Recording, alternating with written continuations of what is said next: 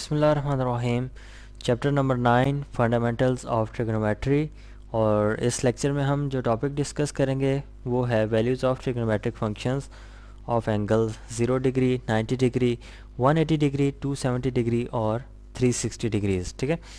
तो ये जो सब एंगल्स हैं, ये ये इन्हें कहा जाता है क्वाड्रेंटल एंगल्स ठीक है? क्वाड्रेंटल एंगल्स क्या होता है? वो हम देखते हैं। लेट्स सपोज़ ये हमारे पास एक वाई कोऑर्डिनेट है और ये एक्स कोऑर्डिनेट है, ठीक है? तो अगर टर्मिनल साइड जो है एंगल की, वो लाई करती है पॉजिटिव एक्स एक्सिस के ऊपर तो ये कहलाता है ज़ीरो डिग्री ठीक है? और ये हो गया ज़ीरो डिग्री अगर टर्मिनल साइड लाई करती है पॉजिटिव वाई एक्सिस के ऊपर तो ये कहलाता है 90 डिग्रीज। और अगर टर्मिनल साइड लाई करती है नेगेटिव एक्स एक्सिस के ऊपर तो ये एंगल कहलाता है 180 डिग्रीज। ठीक है? और अगर टर्मिनल साइड एंगल की लाई करती है नेगेटिव वाई एक्सिस के ऊपर तो ये एंगल कहलाता है 270 डिग्रीज। ठीक है? उसके अलावा अगर टर्मिनल साइड लाई करती है एक्स एक्सिस के ऊपर पॉजिटिव एक्सिस के ऊपर, और रोटेशन के बाद एंगल क्या बनता है? रोटेशन के बाद एंगल ये बनता है 360 डिग्रीज ये है 360 डिग्रीज ये सब के सब क्वाड्रेंटल एंगल्स हैं. क्वाड्रेंटल एंगल्स क्या होता है? या तो terminal side positive X axis negative X axis positive Y axis या नेगेटिव वाई एक्सिस के ऊपर लाई करी हो उसे कहा जाता है क्वाड्रेंटल एंगल ठीक है? सिंपली ये कि एक्स एक्सिस या वाई एक्सिस के ऊपर टर्मिनल साइड किसी भी एंगल की लाई करी हो उस एंगल को कहा जाएगा क्वाड्रेंटल एंगल अच्छा अब हम स्पेसिफिक एंगल्स के बारे में इस लेक्चर्स में देखेंगे। ज़ीरो डिग्री की ट्रिग्नोमेट्रिक फ़ंक्शंस की वैल्यूज़ क्या होती हैं? 90 डिग्रीज़ के हिसाब से ट्रिग्नोमेट्रिक फ़ंक्शंस की वैल्यूज़ क्या होती हैं? इसी तरह से बाकी इन सब एंगल्स की ट्रिग्नोमेट्रिक फ़ंक्शंस की वैल्यूज़ क्या होती हैं, वो हम देखेंगे इस लेक्चर में। तो सबसे पहले ज़ीरो डिग्री को स्टार्ट करते हैं। उससे पहले भी हम देखते हैं, एक छोटा सा कंसेप्ट देख लेते हैं कि ये लेट्स सपोज़ हमारे पास वाई एक्सिस है। मैं इसको थोड़ा स्ट्रेट करके ड्रॉ कर लेता हूँ। ये है वाई एक्सिस ठीक है, और ये है एक्स एक्सेस ठीक है। तो एक पॉइंट हम ले लेते हैं लेट्स सपोज़ यहाँ पर एक पॉइंट लाई कर रहा है, ये एक पॉइंट है, ठीक है पॉइंट पी जिसके कोऑर्डिनेट्स हैं, एक एक्स है और एक वाई कोऑर्डिनेट है, ठीक है। तो अब मैं ऐसा करता हूँ, इस पॉइंट को ज्वाइन कर देता हूँ ओरिजिन के साथ। ये मैंने ज्वाइन कर दिया, ठीक है। ये मैंने ज्वाइन कर दिया इस पॉइंट को ओरिजिन के साथ। तो ये डिस्टेंस कितना होगा? ये डिस्टेंस इसको मैं आर का नाम दे देता हूँ और डिस्टेंस इक्वल होगा ओरिजिन से किसी भी पॉइंट का डिस्टेंस होता है उसके एक्स कोऑर्डिनेट का सुकेयर प्लस उसके वाई कोऑर्डिनेट का सुकेयर और फिर उसका सुकेयर रूट ठीक है? ये आर आ गया। अच्छा उसके बाद हमारे पास हम ऐसा करते हैं इस पॉइंट से आ, ले लेते हैं। परपेंडिकुलर एक्स एक्सिस के ऊपर। लेट्स सपोज़ ये परपेंडिकुलर मैंने ड्रॉ कर दिया एक्स एक्सिस के ऊपर। तो ये जो साइड बनेगी, ये जो कंपोनेंट बनेगा, इसको हम कहते हैं एक्स कंपोनेंट ठीक है? ये एक्स कंपोनेंट बन गया और ये वाई कंपोनेंट आ जाएगा। ठीक है? क्योंकि ये वाई वाई एक्सिस के अलॉन्ग है और उसके वाई कंपोनेंट के इक्वल है। अगर मैं यहाँ से ड्रॉ करता हूँ परपेंडिकुलर वाई एक्सिस के ऊपर तो ये वाई कॉम्पोनेंट बनता है, जो कि इसके इक्वल है तो इसी को हम कह देते हैं वाई कॉम्पोनेंट ठीक है? तो ये बन गया एक्स कॉम्पोनेंट ये बन गया वाई कॉम्पोनेंट ये हो गया distance between origin and this point ठीक है? तो आप देखें, यहाँ पर हमारे पास एक राइट एंगल ट्राइंगल बन चुकी है। ठीक है, जहाँ जिसमें ये जो है एक 90 डिग्री का एंगल है और इसमें हम ऐसा करते हैं कि ये एक एंगल ले लेते हैं, जिसके रेफरेंस से हम इस ट्रायंगल को देखेंगे, ठीक है? इसको थीटा कह देते हैं। अच्छा अब इस थीटा के लिहाज से अगर देखें, इस थीटा के ऑपोजिट जो साइड बनती है, वो वाई साइड है, उसको परपेंडिकुलर कहा जाएगा, ठीक है? और इसके साथ जो साइड बनती है, उसको बेस कह देते हैं और 90 डिग्रीज के ऑपोजिट जो साइड बनती है, उसको हाइपोटेन्यूज कहा जाएगा। ठीक है? तो ये तीन साइड्स भी डिफाइन कर दी हमने इस ट्रायंगल की। अब ऐसा करते हैं, ट्रिग्नोमेट्रिक फ़ंक्शंस लिखते हैं, ठीक है, इस ट्रायंगल के। तो उसके लिए हम ऐसा करते हैं कि, let's suppose sine of this theta. Sine of this theta किसके इक्वल होगा? Sine of this theta sine theta हमेशा इक्वल होता है परपेंडिकुलर ओवर हाइपोटेन्यूज के। ठीक है? तो इस केस में परपेंडिकुलर क्या है? Y है और हाइपोटेन्यूज क्या है? R है। ठीक है? तो साइन थीटा इक्वल टू आ गया r के इक्वल तो हम यहाँ से कह सकते हैं कॉसिकेंट थीटा इक्वल होगा आर ओवर वाई के, क्योंकि इसका इन्वर्स होता है। ठीक है? कॉसिकेंट थीटा जो होता है वो साइन थीटा का इन्वर्स होता है। आर ओवर वाई बन गया। अब हम आते हैं कॉस थीटा के ऊपर। कॉस थीटा को अगर देखें तो कॉस थीटा किसके इक्वल होगा? कॉस थीटा इक्वल होगा बेस ओवर हाइपोटन्यूज़ के। ठीक है? कॉस थीटा हमेशा इक्वल होता है बेस ओवर हाइपोटन्यूज़ के। तो बेस हमारे पास क्या है? यहाँ पर एक्स है। और हाइपोटन्यूज़ क्या है? हाइपोटन्यूज़ हमारे पास आर है। तो कॉस थीटा की वैल्यू भी आ गई। एक्स ओवर आर के इक्वल तो अब हम ऐसा करते हैं कि इसके इन्वर्स की भी वैल्यू लिख लेते हैं, जो कि होगा secant theta R over X के इक्वल ठीक है? अब हम टेन थीटा की बात करते हैं। टेंजेंट थीटा इक्वल किसके होगा? टेंजेंट थीटा इक्वल होगा, होता है परपेंडिकुलर ओवर बेस के। परपेंडिकुलर इस केस में क्या है? वाई है और बेस एक्स है। ठीक है? तो इससे हमारे पास टेंजेंट थीटा इक्वल आ जाता है। वाई ओवर एक्स के इक्वल तो यहाँ से हम कह सकते हैं कि कॉट थीटा इक्वल होगा एक्स ओवर वाई के इक्वल तो ये छः की छः हमारे पास ट्रिग्नोमेट्रिक फ़ंक्शंस आ चुके हैं। ठीक है? तो इनको हम आगे यूज़ करेंगे। ये मैंने रेफरेंस के लिए ड्रॉ किए हैं। अब हम ऐसा करते हैं कि हम ज़ीरो डिग्री के बारे में बात करते हैं। ज़ीरो डिग्री जो हमारा क्वाड्रेंटल एंगल होता है, ठीक है?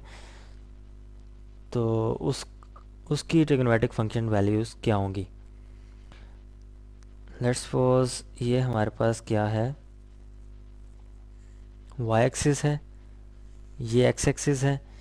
तो ज़ीरो डिग्री की क्या हमने पहले भी डिस्कस किया इसी लेक्चर में, शुरू में, कि टर्मिनल साइड जब पॉजिटिव एक्स एक्सिस के ऊपर लाई करी होगी तो वो होगा ज़ीरो डिग्री। तो लेट्स सपोज़ एक पॉइंट है जो कि पॉजिटिव एक्स एक्सिस के ऊपर लाई कर है यहाँ पर। ठीक है? इसका एंगल मैं अगर ड्रॉ करता हूँ तो ये टर्मिनल साइड बनती है इसकी, ठीक है? ये टर्मिनल साइड बनती है। तो ये टर्मिनल साइड जो है, उसका डिस्टेंस क्या है ओरिजिन से? वो भी लिख लेते हैं हम। आर आर से डिनोट कर लेते हैं उसको और वो इक्वल होगा किसके? उसके x coordinate plus y coordinate के एक्स कोऑर्डिनेट के स्क्वायर प्लस वाई कोऑर्डिनेट के स्क्वायर और उसके स्क्वायर रूट के। ठीक है? X square plus y square और उसके स्क्वायर रूट अब इस केस में देखें, इस पॉइंट का एक्स कोऑर्डिनेट क्या होगा? जितना ये डिस्टेंस है। एक्स एक्सिस के ऊपर, क्योंकि लाई ही सिर्फ़ एक्स एक्सिस के ऊपर कर रहा है तो जितना ये डिस्टेंस है तो लेट सपोज़ हम इसको वन कह देते हैं, ये वन डिस्टेंस है तो x is equal to one हो जाएगा तो ये बन जाएगा वन का स्क्वेयर वन का स्क्वेयर अच्छा अब वाई स्क्वेयर पे आते हैं कि वाई कंपोनेंट क्या है। इस पॉइंट का वाई कंपोनेंट क्या है? इस पॉइंट का वाई कंपोनेंट है ही नहीं ज़ीरो है, क्योंकि वाई एक्सिस की तरफ़ या पॉजिटिव या नेगेटिव की तरफ़ वो मूव ही नहीं किया उसने पॉइंट ने। सिर्फ़ एक्सेसिस के ऊपर ही पड़ा हुआ है। ठीक है तो y इसका ज़ीरो है तो वाई स्क्वेयर भी ज़ीरो हो जाएगा। तो one plus zero is zero one square का square root is equal to बनता है वन के इक्वल मतलब कि r की वैल्यू आ चुकी है वन के इक्वल ठीक है तो इस केस में x क्या है? x is equal to one है, y is equal to zero है, और r is equal to one है। ठीक है? तो अब हम उन वैल्यूज़ को यूज़ करते हैं जो हमने रेफरेंस के लिए पहले से ड्रॉ कर लिए हैं। साइन थीटा इज़ इक्वल होता है वाई ओवर आर के। साइन थीटा इक्वल है वाई ओवर आर के।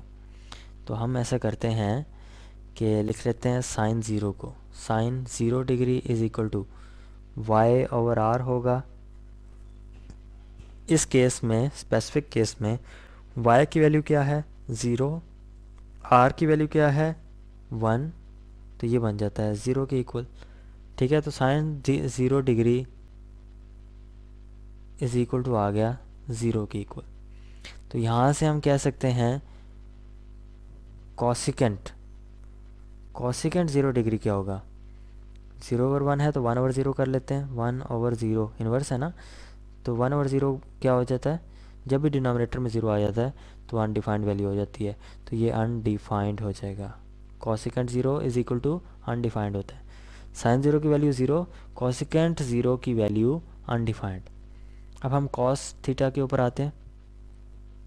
कॉस की वैल्यू क्या बनती है? Cos zero degree is equal to cos किसके इक्वल है जी? कॉस इक्वल है एक्स ओवर आर के, ठीक है? तो x over r is equal to इस केस में एक्स क्या है?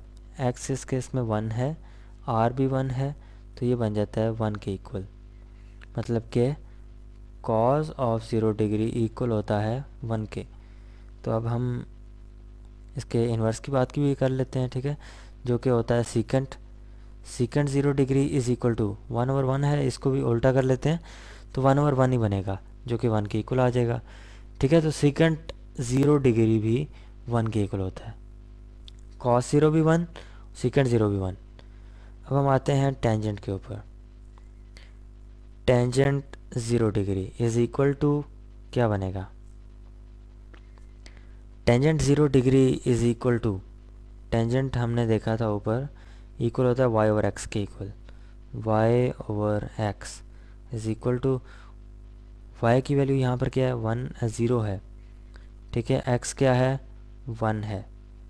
इज़ इक्वल टू ज़ीरो बन गया। मतलब कि tangent zero degree is equal to होता है ज़ीरो के इक्वल अब हम बात करते हैं कॉट की। कॉट ज़ीरो डिग्री इसका इन्वर्स ठीक है? तो वन ओवर ज़ीरो बन जाएगा। वन ओवर ज़ीरो ये भी बनता है अनडिफाइंड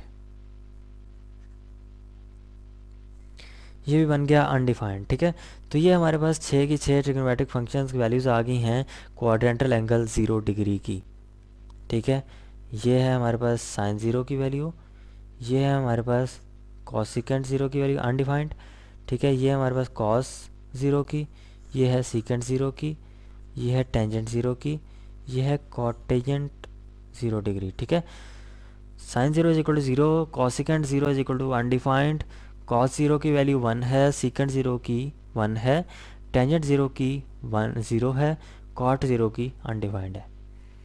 इसी तरह से अब हम 90 डिग्रीज पे आते हैं।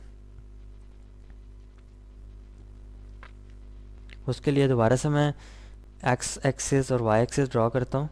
लेट्स सपोज़ ये वाई एक्सिस है, ये हमारे पास एक्स एक्सिस है, ठीक है? 90 डिग्रीज क्या होता है? वो हम पहले देख चुके हैं कि टर्मिनल साइड जब लाई कर रही हो पॉजिटिव वाई एक्सिस के ऊपर, यानी कि यहाँ पर, ये टर्मिनल साइड लाई कर रही है। ठीक है? कि टर्मिनल साइड लाई कर रही है तो इसका एंगल जो बनेगा वो 90 डिग्रीज बनेगा। ये एंगल बनेगा 90 डिग्रीज अच्छा अब लेट्स सपोज़ अगर ये वन है, ठीक है? पहले मैं इन दोनों को ज्वाइन कर लेता हूँ। इसको मैं थोड़ा, ये 90 डिग्रीज है, ठीक है? तो इन दोनों को मैं अगर ज्वाइन करता हूँ, इस पॉइंट को और इस पॉइंट को तो ये एक ट्रायंगल बनती है। ठीक है? ये वाई कोऑर्डिनेट ये एक्स कोऑर्डिनेट ये वाला एक्स कोऑर्डिनेट है और ये वाला वाई कोऑर्डिनेट ये 45 डिग्रीज़ हैं, ये भी 45 डिग्रीज़ हैं। दोनों एंगल्स इक्वल हैं तो दोनों साइड्स भी इक्वल होंगी। एक्स और वाई इक्वल होंगे मतलब कि अगर वाई इक्वल वन है एक्स इक्वल वन होगा। ठीक है? तो ये वाली साइड क्या हो जाएगी? सुके रूट टू। ठीक है? तो ये बन गया सुके रूट ऑफ़ टू अच्छा अब हम ऐसा करते हैं। वाई भी हमें पता चल गया। एक्स भी हमें पता चल गया। और हाइपोटेनस भी पता चल गया। इसको दूसरी तरह से देखते हैं। कि ये हमारे पास अगर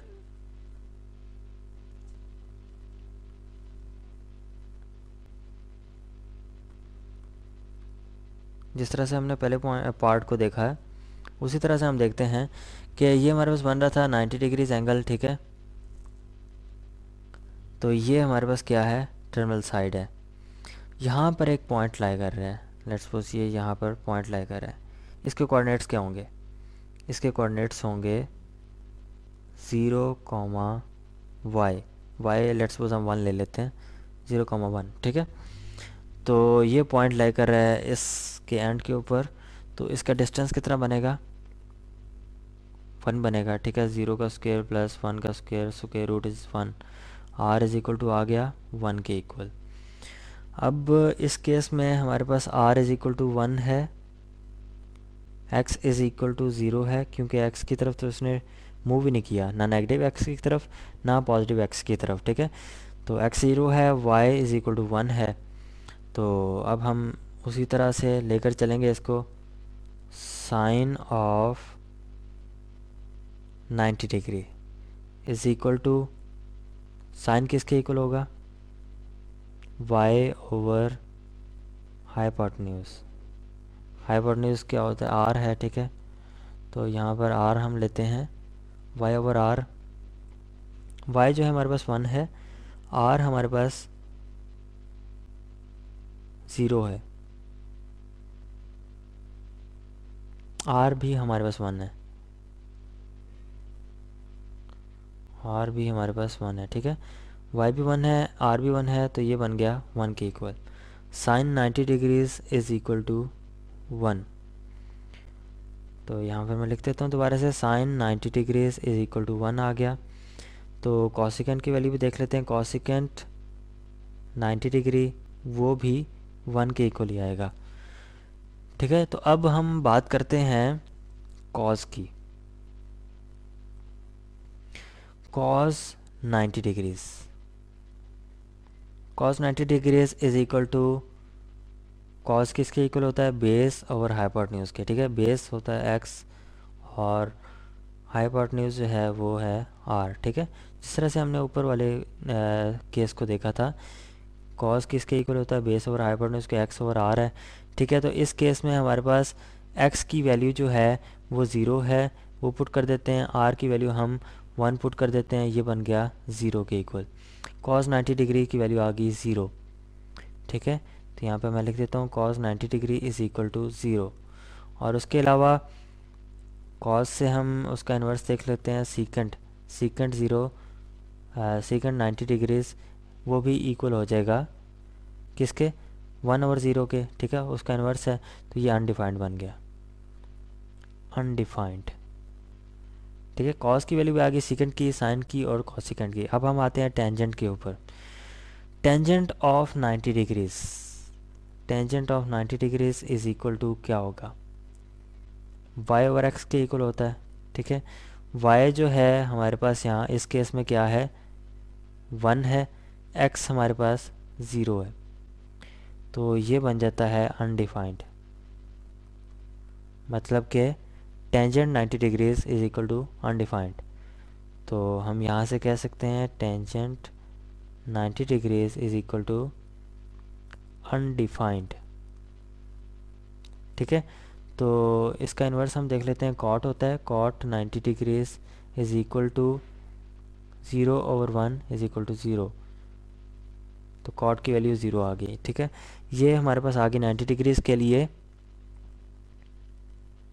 साइन की वैल्यू, जो कि वन है कॉसिकेंट 90 डिग्री जो कि वन है कॉस 90 डिग्री जो कि ज़ीरो है सीकेंट 90 डिग्री जो कि अनडिफाइंड है टेंजेंट 90 डिग्री जो कि अनडिफाइंड है, और कॉट 90 डिग्री जो कि ज़ीरो है।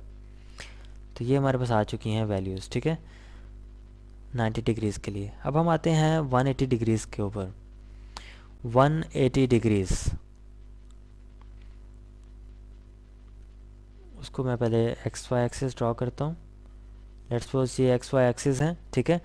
तो 180 डिग्रीज के लिए जो है टर्मिनल साइड लाई करी होती है नेगेटिव एक्स एक्सेस के ऊपर, यानी कि जिस तरह से ये है। ठीक है? तो ये एंगल फिर बनता है 180 डिग्रीज तो हम यहाँ पर एक पॉइंट ले लेते हैं। लेट्स सपोज़ ये एक पॉइंट है तो इसका डिस्टेंस वन के इक्वल कह लेते हैं। तो x is equal to minus one हो गया। और y जो है, वो तो ज़ीरो है, क्योंकि y की तरफ़ डिस्टेंस मूव ही नहीं किया। ठीक है तो इस पॉइंट के कोऑर्डिनेट्स बन गए माइनस वन और ज़ीरो अब हम इस डिस्टेंस को फाइंड कर लेते हैं। ठीक है? ये डिस्टेंस किसके इक्वल होगा? ये डिस्टेंस माइनस वन का स्क्वेयर क्योंकि एक्स कोऑर्डिनेट है। उसका स्क्वेयर प्लस वाई कोऑर्डिनेट का स्क्वेयर और उसका स्क्वेयर रूट ये डिस्टेंस बनता है, ठीक है? जो कि वन के इक्वल आता है। तो ये बन गया r is equal to one के इक्वल यहाँ पर आर जो है वन है एक्स जो है वो माइनस वन है और वाई जो है वो ज़ीरो है, ठीक है? तो अब हम उसी तरह से होने की वैल्यूज़ देखते हैं। Sine 180 degrees is equal to y over r y किसके इक्वल है? ज़ीरो आर जो है वन के इक्वल है। तो ये ज़ीरो आ गया। Sine one eighty degree zero के इक्वल है ज़ीरो के इक्वल आ गया। इसी से हम कॉसिकेंट देख लेते हैं। Cosecant one eighty degrees is equal to इसका inverse one over zero undefined sine और कॉसिकेंट हमने देख लिया, उसके बाद हम आते हैं कॉस के ऊपर।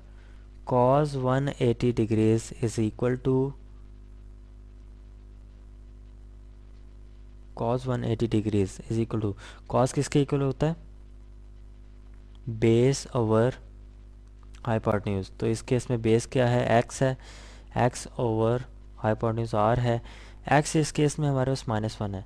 Minus one divided by r जो है वो वन है। तो ये आएगा इक्वल टू माइनस वन के मतलब कि कॉस वन एट्टी डिग्री की वैल्यू होती है माइनस वन और हम देख लेते हैं सीकेंट की value secant one eighty degrees is equal to वो भी माइनस वन आएगी, ठीक है? वन ओवर माइनस वन जो है वो माइनस वन ही आएगी। अच्छा अब हम देखते हैं टेंजेंट की value tangent one eighty degree is equal to perpendicular over base, y over x is equal to y है इक्वल होता है, y इस किसमें? ज़ीरो के इक्वल है, और वन जो x है वो माइनस वन के इक्वल है तो ये बन जाएगा ज़ीरो मतलब कि tangent 180 degrees is equal to zero अब हम बात करते हैं कॉट की कॉट 180 डिग्रीज़ की. तो इसका इन्वर्स ले लेते हैं minus one divide by zero is equal to zero बल्कि नहीं ज़ीरो जो है वो डिनोमिनेटर में आ चुका है, वो अनडिफाइंड बन जाएगा। इज़ इक्वल टू अनडिफाइंड तो ये हमारे पास वैल्यूज़ आ चुकी हैं साइन की कॉस की कॉसिकेंट की सीकेंट की टेंजेंट की कॉट की, ठीक है? इस तरह से हम फाइंड करते हैं। तो 270 की भी इसी तरह से आप फाइंड करेंगे, उसके लिए मैं फिगर ड्रॉ कर देता हूँ कि लेट्स सपोज़ हमारे पास जो है ये एक्स एक्सेस और ये वाई एक्सिस है, ठीक है? तो उसकी टर्मिनल साइड यहाँ पर लाई करी होगी, ठीक है? तो यहाँ पर एक पॉइंट ले लें, जिसके कोऑर्डिनेट्स बनेंगे माइनस ज़ीरो माइनस वन ठीक है? तो ये एंगल बनता है टू सेवेंटी डिग्रीज तो ये टर्मिनल साइड है ज़ीरो माइनस वन और आर की वैल्यू आप निकाल लें इससे, ठीक है? आर भी आ जाएगा एक्स जो है वो ज़ीरो है y is equal to minus one है तो आर की वैल्यू वन आ जाएगी, ठीक है? तो यहाँ से आप साइन कॉस वगैरह सब ट्रिग्नोमेट्रिक फ़ंक्शंस की वैल्यूज़ निकाल सकते हैं। तो 360 डिग्रीज़ के बाद जब करेंगे 360 डिग्रीज़ के लिए क्या होगा कि टर्मिनल साइड यहीं पे लाइक करी होगी, ठीक है? टर्मिनल साइड यहीं पे लाइक करी होगी। और उसका एंगल किस तरह से हम देखेंगे? यहाँ से इस तरह से, ठीक है? तो ये लाई करी होगी तो वो सेम केस बन गया ज़ीरो डिग्रीज़ वाला। ये 360 डिग्रीज़ है, वो ज़ीरो डिग्रीज था, लेकिन सेम केस है। Sine of 360 degrees is equal to sine of zero degrees ठीक है? तो ये सेम होते हैं। 360 का केस और ज़ीरो डिग्रीज का केस सेम है। तो जो हमने ज़ीरो का केस सेम किया केस सॉल्व किया था, उसी तरह से हमारे पास साइन 360 का आएगा कॉस 360 का आएगा। सब जो है 360 के लिहाज से सब ट्रिग्नोमेट्रिक फ़ंक्शन जो हैं, उनकी वैल्यूज़ ज़ीरो डिग्रीज़ के इक्वली आएँगी, ठीक है? जिस तरह से ज़ीरो डिग्रीज़ की हमने कैलकुलेट की। तो यहाँ पर ये हमने सब जो है कोरेंटल एंगल्स के टिग्नोमेट्रिक फ़ंक्शन वैल्यूज़ देखी। तो यहाँ पर अब हम अपना लेक्चर एंड करते हैं और नेक्स्ट लेक्चर से हम एक्सरसाइज 9.3 स्टार्ट करेंगे।